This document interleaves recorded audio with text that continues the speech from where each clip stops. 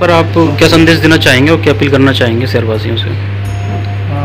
संदेश ये है कि अभी कोरोना गया नहीं है तो जो भी कार्यक्रम करें, उसमें ये सतर्कता ज़रूर बरतें। इसके अलावा बारिश की वजह से, अतिवृष्टि की वजह से जगह जगह संक्रमण की संभावना बढ़ी है तो लोग सतर्क रहें और इस शुभ अवसर पे बहुत सारी शुभकामनाएँ देता हूँ पूरे ज़िले के निवासियों को।